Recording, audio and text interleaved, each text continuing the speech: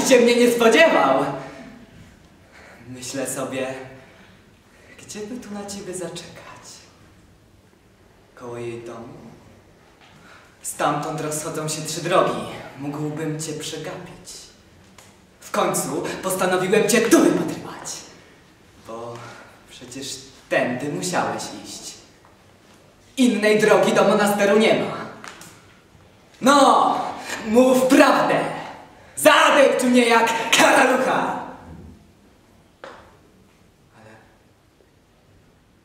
co ci jest? Czekaj. Popatrz.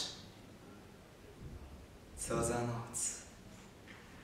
Widzisz, jak ciemno? Jakie obłoki? Jaki wiatr się zerwał? Schroniłem się tu, pod drzewem. Czekam na ciebie i nagle pomyślałem sobie. Bóg mi świadkiem. I po cóż będę się tłukł po świecie? Po co czekać? Oto drzewo, chustkę mam przy sobie, koszulę też, powrót zaraz skręcę, szelki na dokładkę i uwolnię ziemię od takiego brzemienia. Nie będę jej bezcześcił swoją niegodną istotą. Aż tu słyszę?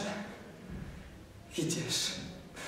Panie Boże, jak gdyby coś mnie nagle nawiedziło.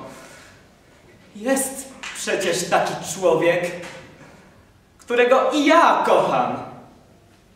Przecież to on, ten człowiek, braciszek mój drogi, którego najbardziej na świecie kocham. Jego jednego prawdziwie kocham. Ano, patrzeć, muszę! Co tam słychać? Co ci powiedziała? Depcz mnie, uderzaj, nie oszczędzaj! Złość wpadła? Nie. Nie to. Tam było zupełnie co innego, Mitia. Tam...